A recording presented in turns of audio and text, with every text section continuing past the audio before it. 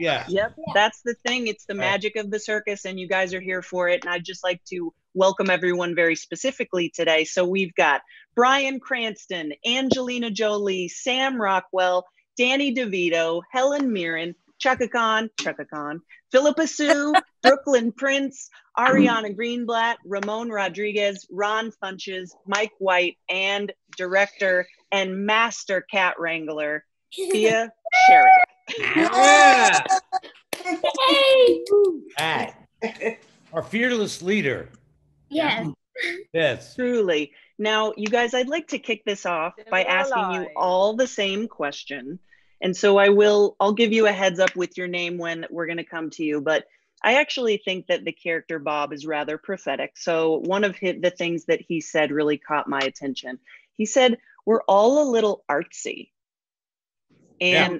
And We are. I love Yeah, I love fun. that. And so I actually wanted to kick this off by asking everybody how you're a little bit artsy outside of your acting. Tell us a little bit about yourself, maybe something we don't know. Why don't we start with you, Bryan? Well, I, I I agree with you. I think the character of Bob um, is a little pathetic. Is that? is that Prophetic, right? uh, I in this world of COVID nineteen and lockdown, I uh, I've actually started baking sourdough bread, and um, quite quite proud of it. Actually, Very it's uh, it's fun.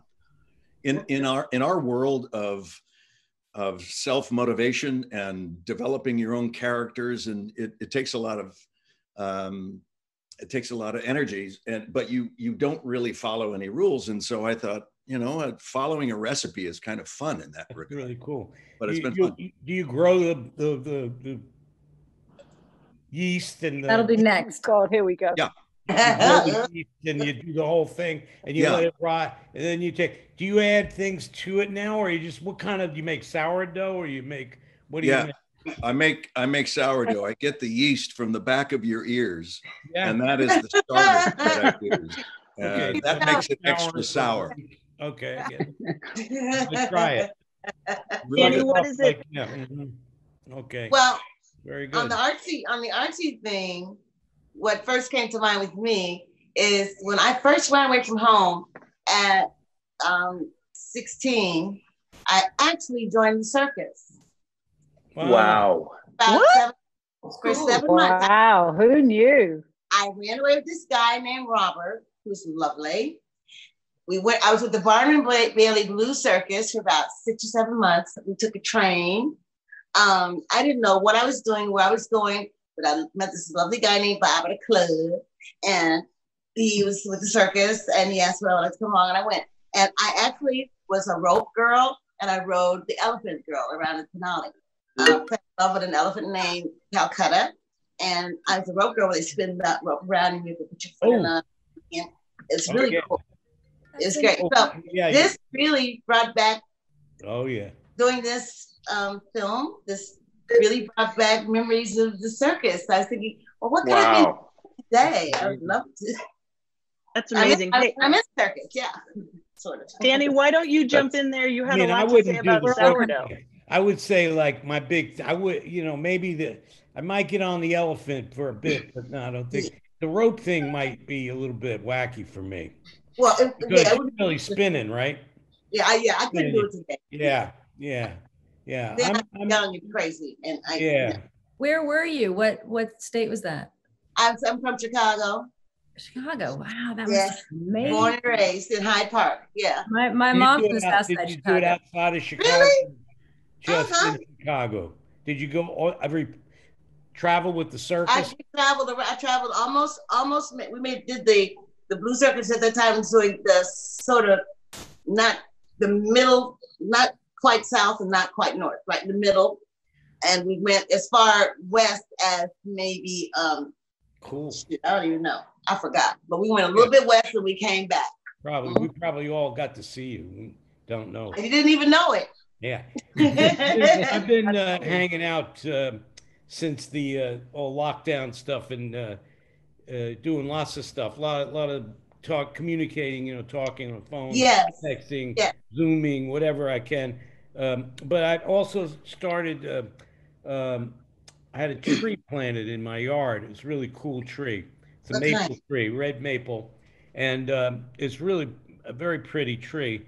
And I decided to hang a couple bird feeders on it.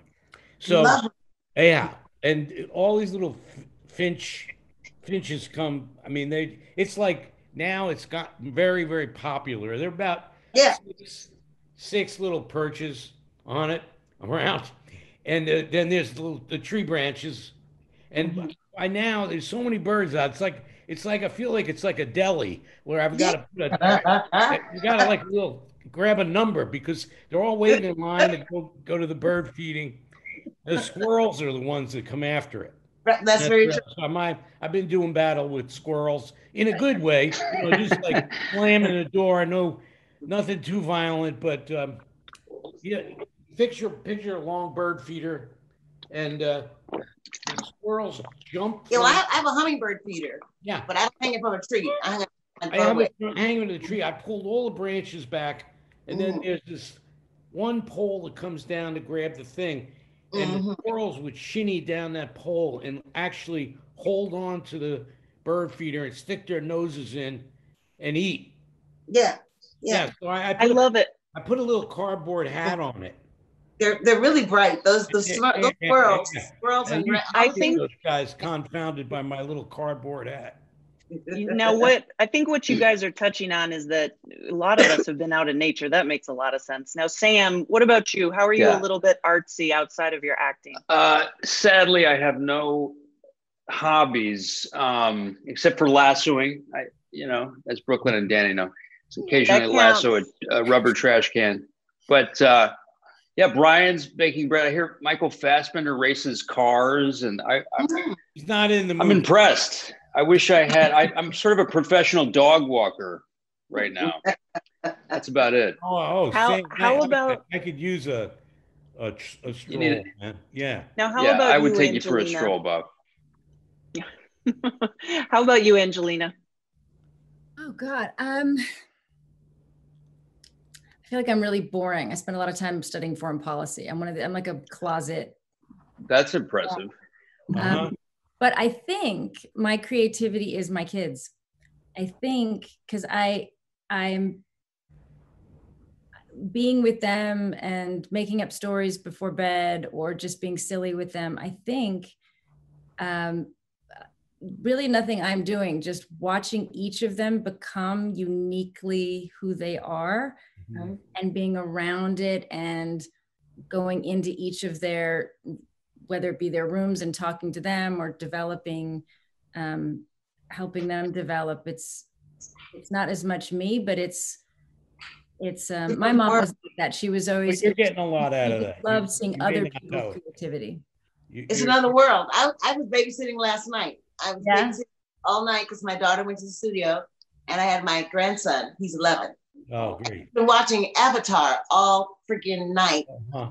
And he's watching it again now. And so I'm like, Ooh. so I got conversations you're having I mean I think this is the thing with kids and and not to be plugging a film but like why you put certain things that are what Disney did what conversations you have and well, his, kind of parts of their minds you develop or the parts Yeah. of humanity or well, which since characters they their, relate to. their dad is gone and there's a, there's a, uh, one of the, the people in the, well, not the people, the cartoon characters is Katara, who I like very much. And uh, she was talking to her father who had left her when she was very young. And he had the same experience. And so when his father came on and said, um, I'm sorry, but I had to leave you. I had to go up toward a fight. But every minute and every night, I thought about you and, and, and your brother. And I cried to be home. So I, I could feel that striking a chord with them. And I stopped the tape and I said, okay. I said, so how did you feel about that? You actually got an explanation for your father's absence. Did that make you feel any better? He said, yes. Hmm. I said, did you imagine maybe that was, was what your daddy wanted to say to you? He said, yes. But that's, you know, I knew that more was going on, you know, but he was giving me the yes, the one monosyllabic. But I could tell he was really, But when when art gets it right, when creativity gets it right, right, it, it's that deep place in us that then reaches that personal so true. someone else, and it So and, oh, true. and we share. It's it's True.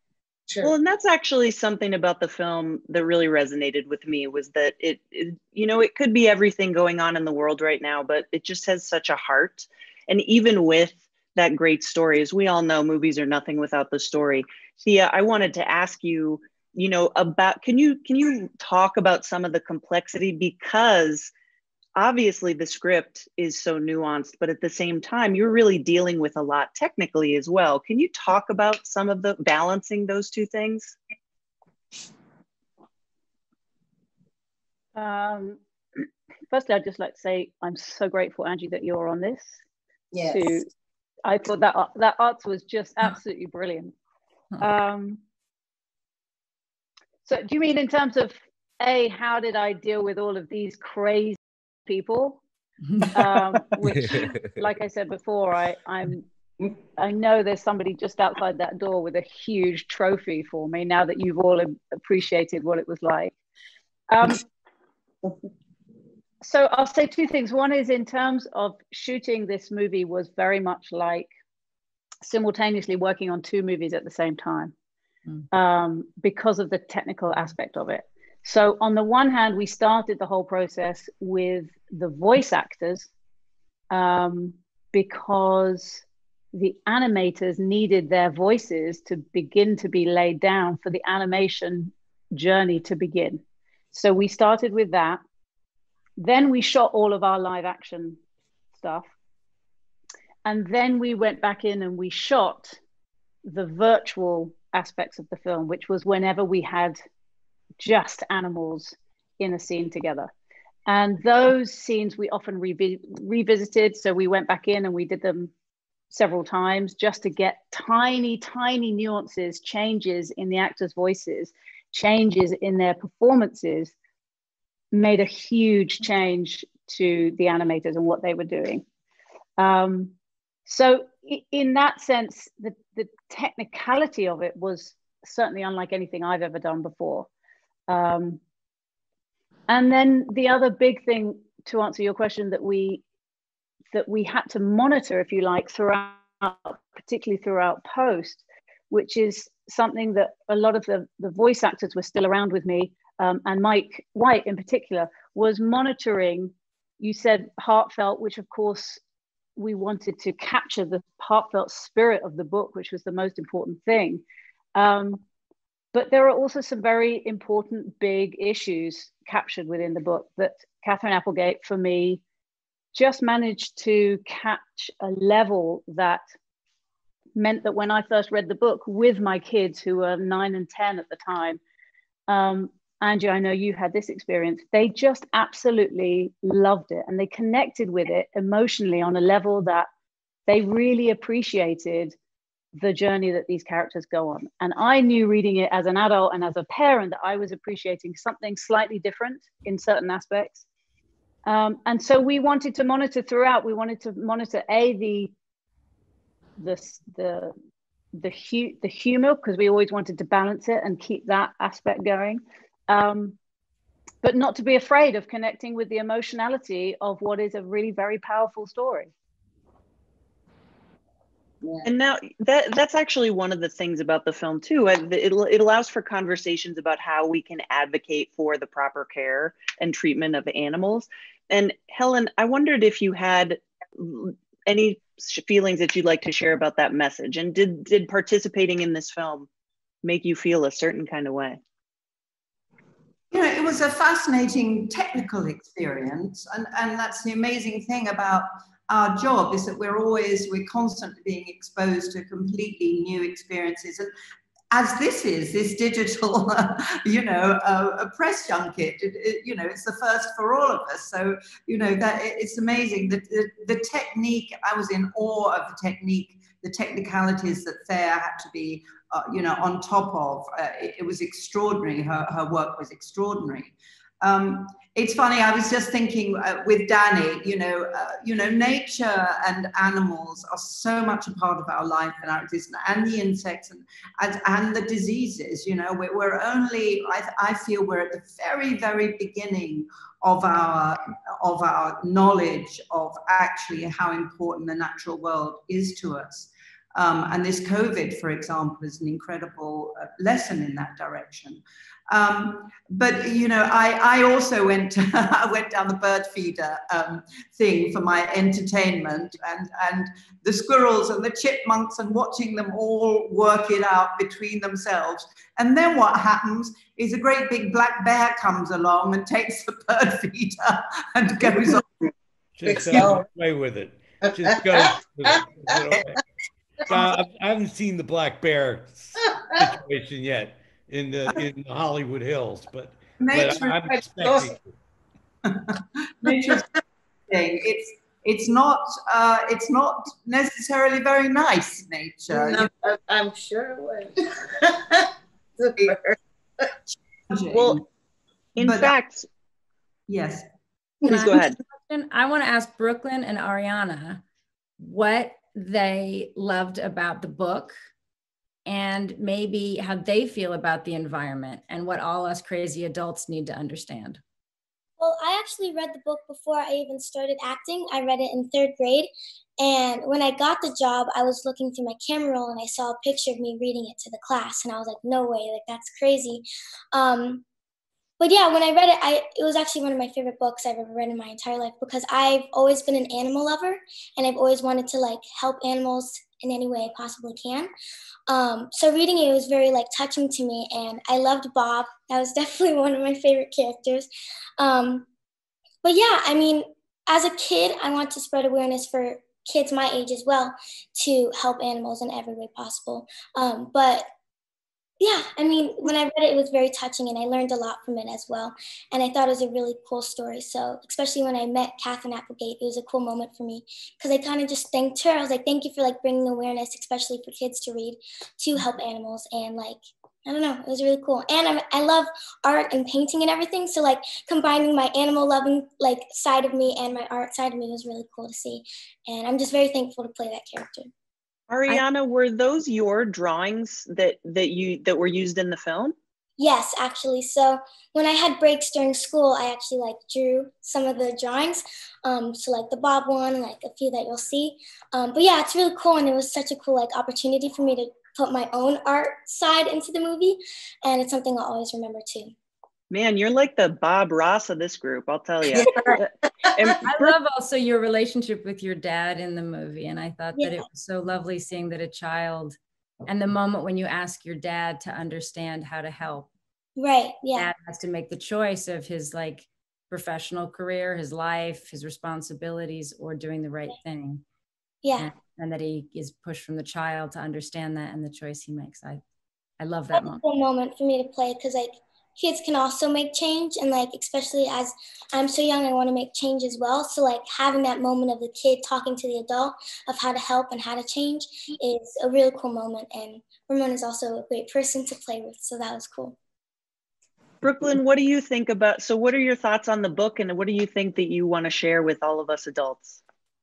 Um, so I read the book with my grandma, my Mimi, lovey memes.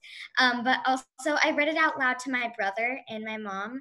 And my brother was really young, and I remember reading it. And I honestly loved Ruby, but I think it teaches us a good lesson about keeping our promises because, you know, Ruby would have never gotten free if Ivan did keep his promise to Stella and i think that's something very beautiful but i i love the book so much that i lended it to my best friend and i told her to read it because it was something so special. And my i loved bob and because he was like so funny but i also loved i also loved the sentiment that of love and like how um, Ivan doesn't care for Ruby in the first place, but he, even though he doesn't care for Ruby, and then like when Stella kind of tells him to keep his promise, or or um, tells him that he has to promise to get Ruby, or he makes the promise to get Ruby out in the wild, he he works his best to do that, and that is something that a lesson that we can all take in.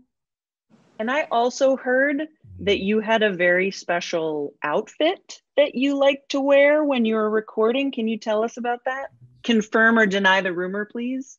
it is confirmed. so I met I saw Angie two times. The first time I met her was at the Governor's Awards, and then I saw her at the Critics' Choice Award. When I saw her at the Critics' Choice Awards, I was like, hey, we should wear elephant onesies in the recording room. And I go home and I'm like, Mama, Mama, Mama, please buy me an Angie elephant onesies. And my mom was like, I'm buying Angelina Jolie an elephant onesie to match with my daughter. what even size does she wear? And my excitement when I got it. yeah, and I was there and in the onesie and I was bouncing around like a fart in a skit. I was like, when's Angie coming? When I when I, when are we gonna wear elephant onesies? And my dad's like, uh, you know, it's probably hot or she might forget it or something. She comes in, she's like, and she like drops off the stuff and she's like, you got an it for me? And so she put it on and me and her have a selfie together wearing our elephant onesies. But in the end, it got kind of hot, but we just tied it around our waists. Um, but Angie also, Angie also bought me the stuffed animal with a little baby elephant and a big elephant holding each other's trunks for Easter. I think it's safe to say we became like the elephant family in the like we got really into our characters, us too. Yes. Love it. I highly recommend to everybody that doesn't already own a onesie to do it. It will change your life. Um, and yeah. Sam, I wanted to ask you a question from Ben O'Shea. Uh, he wants to know thanks to COVID 19, humans around the world are cooped up in their homes right now, a lot like the animals in the mall. So, what can the one and only Ivan teach us about getting through this predicament? Hmm. Oh, boy. Yeah. Um, like Papillon or something. Yeah, uh, that's a good question. Okay. I don't really know the answer to that, but I think Ivan would definitely have something to teach us for sure about isolation. Yeah, the real story is, is, if you've seen the documentary, it's really moving, you know, and um, it's a it's a very it's a heartbreaking story, the real story. So I'm sure Ivan would have something to say about it. I think you you you're uh, you're relying on your friends.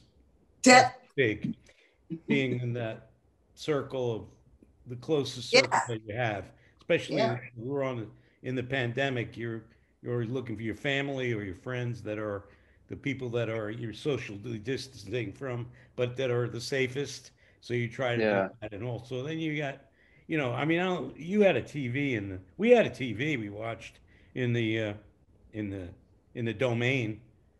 Brian gave us a t- uh, Mac gave us a TV. You, not me. He wouldn't give me a TV.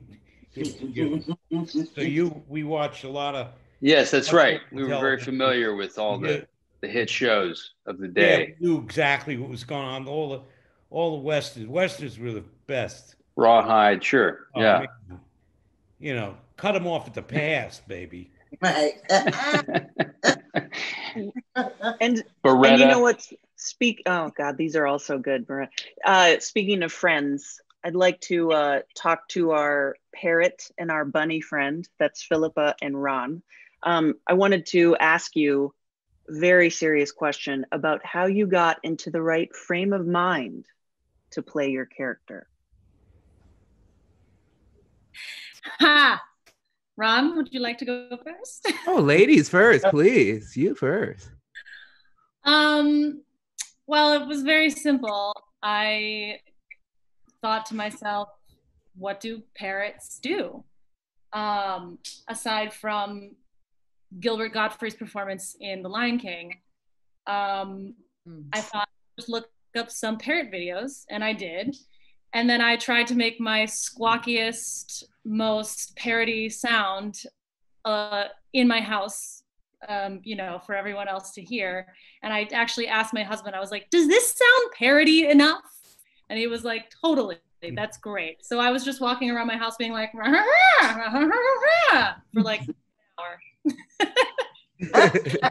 very artsy, very artsy. Um, mine was very simple. I don't really have many voices. I don't do. Um, I'm pretty new. I've only been acting for like six years. I don't even know how I got on this Zoom call. Really, I'm just happy to see these people. Uh, so I just did my voice, and then sometimes they would tell me to change it a little bit, and then sometimes Danny would tell me to try different things, and then I would say, "Okay, Danny, you're very aggressive for your frame, so of course I will listen to you."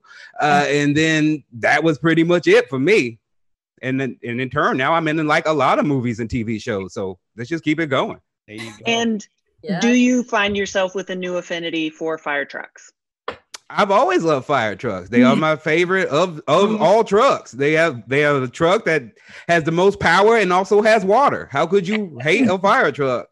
And if I could live my whole life in a fire truck like a bunny, I would I would do that. I don't I understand Murphy's position the whole time. And Ramon, we've heard uh, Thea discuss like some of the challenges in filming, but could you talk about specifically the challenge? You- You're sort you've been in several effects-driven films, and what were you seeing when you were on set? What what were you acting with? uh, well, some amazing people. I mean, the most one of the greatest gifts and one of the greatest challenges was probably Bryan Cranston. Uh, incredibly gifted and wonderful. boy, oh boy, he'd like break into his little Walter White character every once in a while and start getting a little aggressive.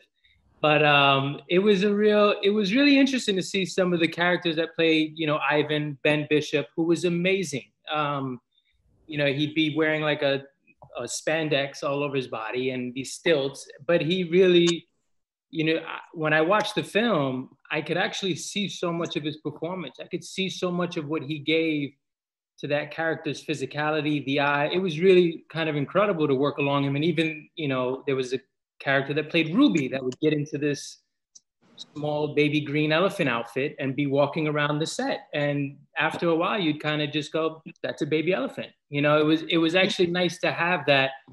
Um, I've done stuff where there's nothing there. So it was actually really nice to have, and there's something about acting along, you know, real person. So Ivan having been there and having him really react to you and perform, uh, as well as Ruby uh, and the and the people that did Stella. I mean, it was just it was a great gift to be able to have those actual people performing, and they're incredibly skilled.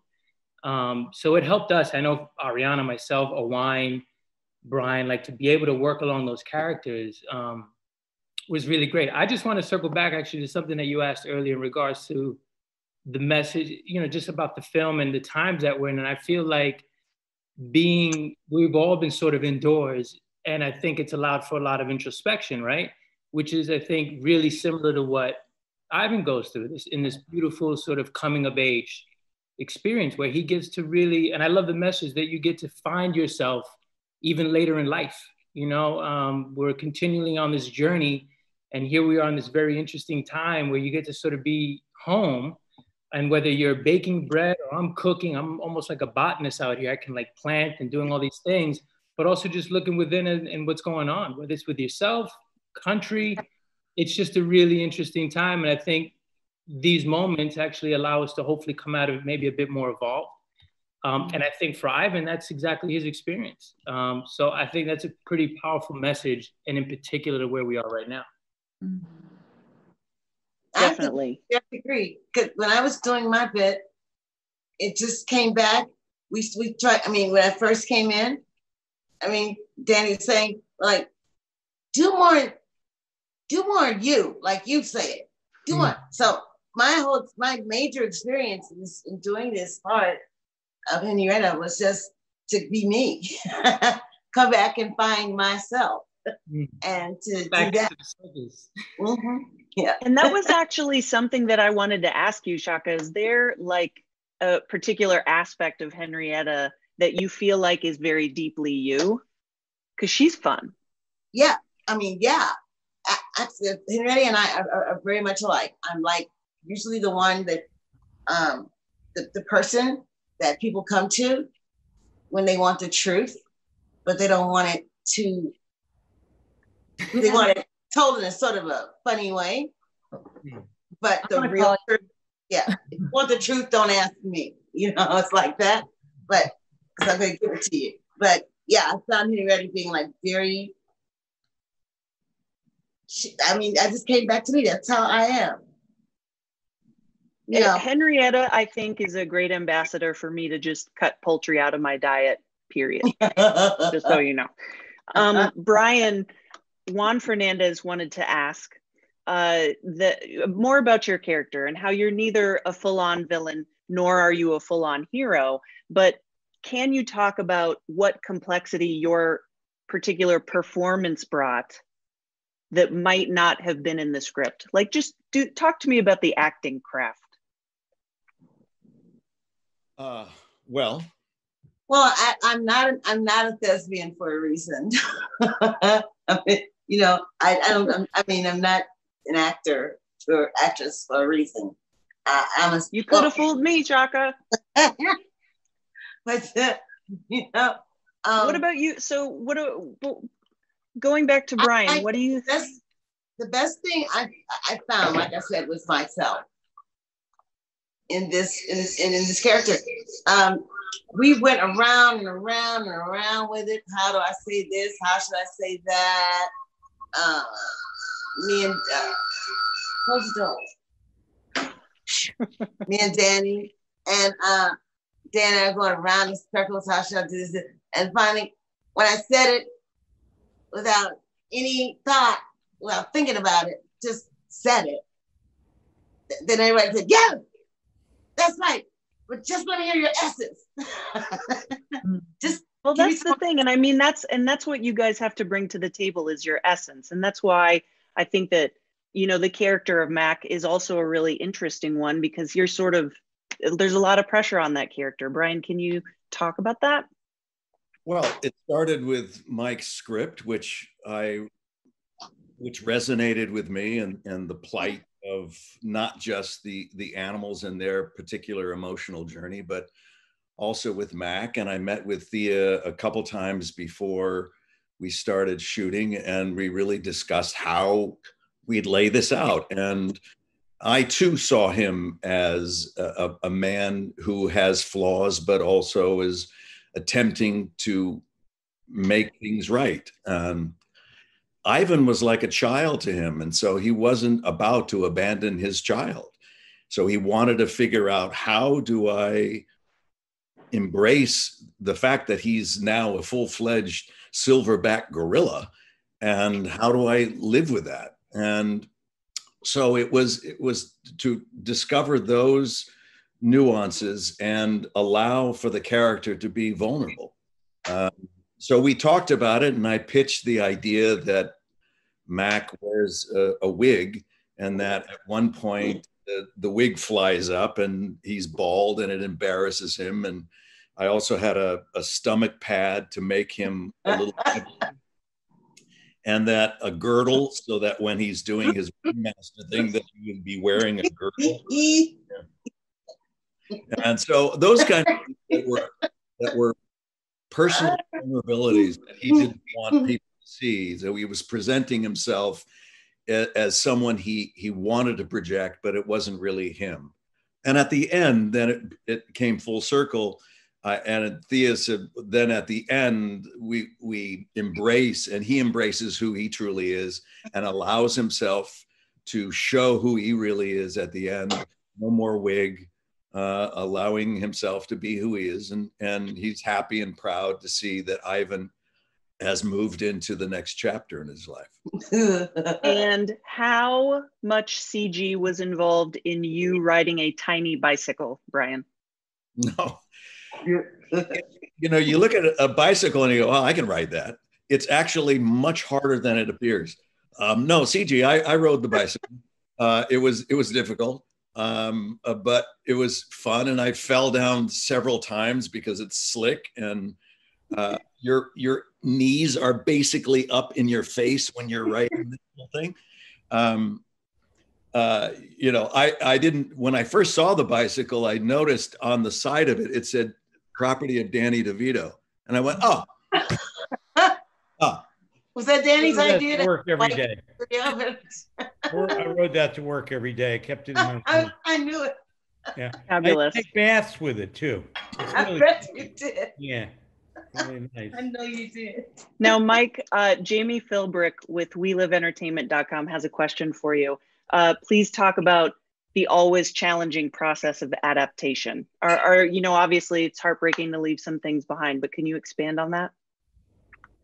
Yeah, sure. uh, I, I feel like I was really lucky because the book is so, um, the characters are so rich and and it's so emotional and and and very soulful for a children's book or a young adult book. I don't know how you necessarily classify it, but um but yeah i think that it needed like a structure like a lot of these adaptations where you just need to make it more uh, have a uh, more of a plot in a sense because uh, the plot isn't really front and center in the book. So that was the biggest challenge and just giving ivan and mac and you know arcs uh, mac's arc is pretty solid in the book but you know ivan having a you know an arc that is more um classic as far as like a Disney film would would require. So that was the biggest challenge in and working with Thea and the producers and Disney. Uh, it was it was I think our biggest challenge as far as adaptation. And Angelina, what was it about this project? Uh, this question, by the way, comes from Courtney Howard. Uh, what was it about this project that make you made you want to take on a producer role in addition to lending your voice as a character? Uh, well, thank you, Courtney. I, uh, my, one of my children read the book and said uh, that they loved it. And I read it and we kind of talked about why it was special and why it meant so much to them. And, and, um, and so I started to pursue where is it? Is it being made? What's happening? And, and, um, and started to get involved and, and looked at, and even the early drafts, it was very interesting. And one of the things Mike did that I think was very special is I'd seen it start to go down a road where it really started to become a, a light, fun kids cart like action, uh, sim- a simpler story. It was easy to somebody to come in and just try to pick a few threads and make it quite simple and add some action here and and to really make it what it is intended to be. And Disney and Mike and everybody involved um, really to to understand that it, it has it's hard. It's not a it's not a light film. It deals with heavy issues but it is charming and fun and full of life. But um but it's deceptive in in in kind of what the the packaging.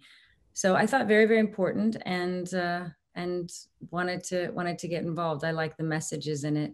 And and I'm excited that this young generation as well. I think all of us older people will appreciate it for many reasons, but I know this young generation is really very aware of what is happening in the world to our natural habitats, to these animals, what's happening in Congo and, and losing ground, what's happening um, with the gorillas, the elephants, um, and and they're angry, and they want to really be clear about what kind of treatment is appropriate, uh, what kind of captivity is appropriate, um, again, being against poaching, being against preservation of natural habitats. So I think this this will, you know, this represents them. It represents Ariana's character represents them, and I think that's a, that's strong for them today to see that their their actions can make change.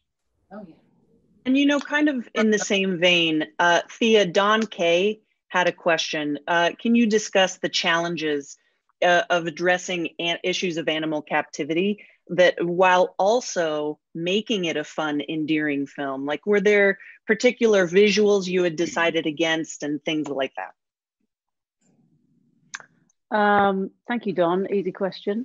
Um, yes, it's it was a big concern from the beginning to again try to not make it feel like a documentary that's been made already on the um, on the, the real life story of, of Ivan the gorilla. Um, and this is also, it's not just any studio, it's Disney. And so we definitely knew that there was a tone that we had to get right. And that was everything from Mike and I in the beginning working on the script and throughout, um, to endlessly looking with the designer, uh, Molly Hughes, as to exactly how the domains would work physically, um, literally like how big the bars are, so that on camera they would have the right feel and that sometimes there are some shots obviously we chose very carefully when we came to edit it that certain scenes there are no bars to be seen whatsoever. And in other moments, we've chosen very carefully when the presence of the bars are there so that they are a constant reminder. Um, you know, it's not easy when your leading character is behind bars for 80% of the movie. Um, and you have to hold at its heart that he has, he creates a dream. He's given a gift by Stella um, to create a gift of a, of a dream to, to get out. And as Brooklyn put it beautifully earlier, to hold on to a promise that he gives to Stella. Um, and so throughout the movie, for example, we also made the choice to have there's next to no green used in the movie. Mm. Um, so that when you get to either Ivan's flashbacks from when he's a kid, which we made as green as possible and made as like the Congo as possible, um, or the very end when he gets to where he needs to go, um, again, we made that as green and as lush as possible. But every choice up to that point, with both the designer and the costume designer, we did everything to keep as much green away as possible. And if you look very carefully, um, the biggest decisions we had to make, I thought, because I'm a Brit, and then I realized this wasn't going to be a problem, was exit signs that over here are green, but I don't think they are in America. So um, although there's a nice symbolism in that, we didn't even have to deal with that. So actually, yeah, that was one of the main decisions that we made very, very early on. That's so interesting. You thought that that, that really does. It, it makes an impact. I didn't realize that, but thinking of the film, it does make a huge, strong choice. Now, believe it or not, we've almost reached the very end of today's press conference, but I won't forgive myself if I don't ask Danny DeVito how much of yourself did you put into Bob the dog? Uh, my, uh, let's see. Well, first of all, it was a pleasure being in this movie. I love working with everybody in the film, and uh, Mike and Thea and all the characters that were with me in the. I mean, I'm an animated dog, so I, I kind of spoke with Sam and, and Helen and everybody, you know, the, but I put a lot into the character. I feel like the thing about Bob for me was uh, uh, I wanted a friend, I, and I always wanted a bigger brother in my life, and uh, I want an older brother. Now I don't know if he's older than I am, but I know he's bigger than I am, and that gorilla was my my best friend. Is my best friend, and. Um, you know, I always wanted a soft place to sleep, and his belly is just so so soft. And I could just think about right now just sinking into that belly and maybe eating a little piece of pizza first and watching some cowboy movies. Just let my eyes go and go to sleep with them. You're making me sleepy. I'm sorry. I had a great One and only Bob next. Wait, can I just can I just quickly say thank you all to all of you. Um, obviously we should really be standing on some podium somewhere, passing a mic down the line, uh, welcoming everybody to come in and see our movie. And so sadly, we can't be in cinemas at the moment, but at least we are blessed with having the option of putting it at, right out there to everybody on Disney Plus. Um, but thank you all so much, all of you, for everything that you put into this movie it's so cool to see you all together because I never got this. I never got this moment. I had you in little pieces, and now I've got all of you. Um, so it's amazing. Thank you all so much for doing this, and for, as I said, everything that you put into the movie. You're all brilliant, and I'm really, really proud of it. Yeah. Uh, thank And you. that- you did an amazing Yeah. job. It's, You're the it's great best, to be in Dave. your film. we love you. Thank Miss you. you. That's exactly why she is the master of herding cats. Uh, Yes. And we have already reached the end of today's press conference. And so for all of our participants, you are now welcome to wave and say goodbye, turn off your video and mute yourselves. And Bye, Bye, everyone. Nice. everybody. Bye, everyone. Bye, celebrities. participating. that Bye, Bye, Rod. meet you. Bye, Angelina. may everyone watching, may your days be full of soft bellies and pizza.